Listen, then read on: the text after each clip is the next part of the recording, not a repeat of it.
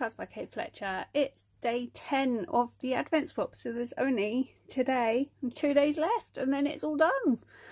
Um, so let's shake the box and see what Gemma has sent me today. Let's go with this one, number seven. There you go. So let's open number seven and see what we have today. Have my chocolate coin.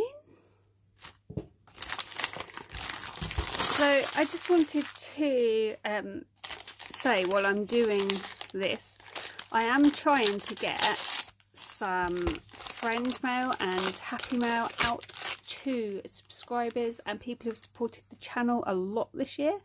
Um, but I'm running really really behind and I'm proper stressed and I'm really worried I'm not going to get it in the post in time for Christmas.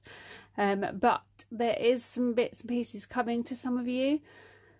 I'm just really trying to catch up. So I just wanted to put it out there that that's what's going on. I'm just so stressed guys honestly. Oh look how cute I've got a mermaid pen. That's awesome. And it changes colours. That's so cool. I've not seen those. And a secret diary for 2021.